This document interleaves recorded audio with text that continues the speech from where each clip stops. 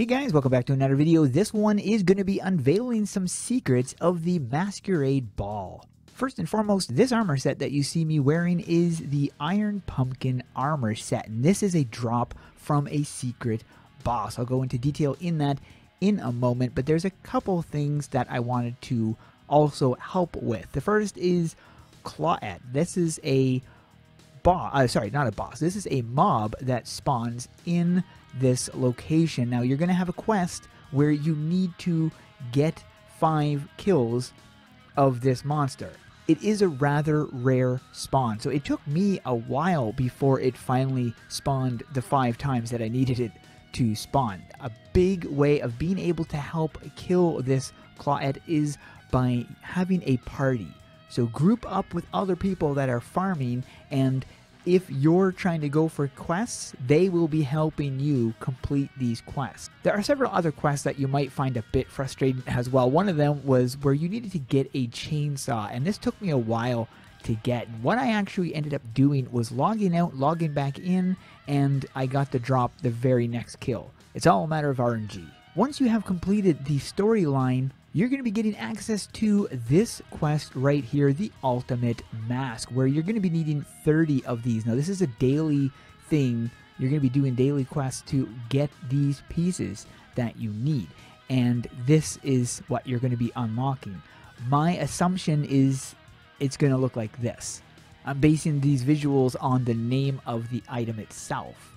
This is a daily quest you would need to complete in order to get this piece which you use for that quest. So it's going to be 30 days and you'll get it. You also have another one right here where you have to kill 25 mobs. You'll be getting 333 bounty, which you can put towards your reputation. And then you have this one right here, which is to play the organ. So this one, of course, couples nicely with this because playing the organ summons this thing, and I'll show you the visuals on that in a moment. Next thing is the reputation. So you have the reputation quests here, and you can rank up simply by collecting the ballroom bounties. So it shows your rep right down here, and I am at 14 out of 34. Long way to go still. Increasing your reputation gives you access to the masquerade stuff. Now you'll see at certain levels what I have unlocked and what you can continue to unlock. So, wait a minute, what? But I am Reputation 14. In your masks shop, you're going to have access to all of these masks once you've completed the storyline. You're also going to have access to this thing right here. You need to have a Reputation 4, rank 4, to get to have some fresh air, which is kind of cool. It takes you to this location right here, which is kind of pointless, but at the same time, it is kind of cool. I, have never tried parkouring up here. Can you parkour up here? Come on, let me get up there. Anyways, you get to look out at the beautiful view.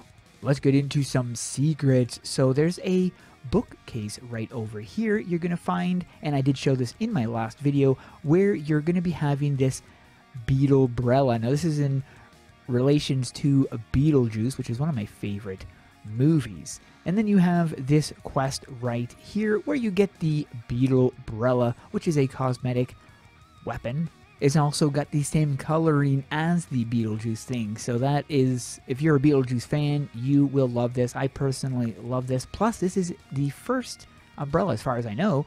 This is the first umbrella in the game. Looks amazing. You need to be rank 6. Another secret is the urn. Now, when you click on the urn, before you're going to be telling, it's going to tell you you need to be a certain rank in order to get access to this urn. That rank is 14. Once you get to rank 14, you're going to be able to reach inside the urn and find the red horror mask. Now, you can just grab this for free, and this is what it looks like. Next topic, the secret boss. Now, this is a Darkon boss. He created this, and this thing is terrifying. So, you're going to be playing the organ. Now, at the end of the storyline, you're going to have an option to play the organ as well. And then you're going to have a daily that you can play the organ also. So you're going to be heading to the organ where you're going to be see it's lit up so you can obviously play it. Now, if it's not lit up means that you can't play it just yet because there's mobs that are going to be spawning right away. but once they are gone, you will be able to play the organ, and upon doing so, you're going to be summoning the Mask Macabre. This thing is terrifying. Now, it actually has an ability where it can one hit you, so you have to be careful to avoid its attacks. And if you have Nightmares Easy, you might want to look away when fighting this thing because it can creep out some people. I actually think it looks amazing, but drop this boss and you're going to be getting some loot. This is where you can get the Iron Pumpkin armor set. And it also drops a weapon as well. Now, I'm not sure the drop rate of the weapon.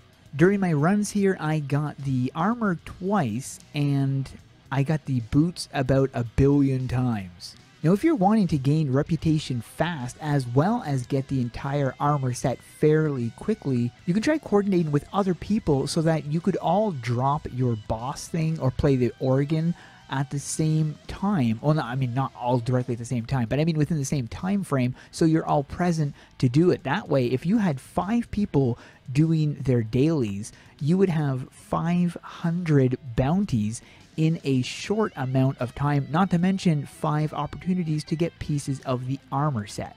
Going back to the story quests for a second, I had a group of players working together in a party and we were able to help each other complete those quests really fast. So if you're having a hard time with the story quests, like I said at the beginning, get together with other people and party up. It is going to be making your questing experience much more enjoyable and much faster. Big thanks to everybody who helped me with the farming and with this video.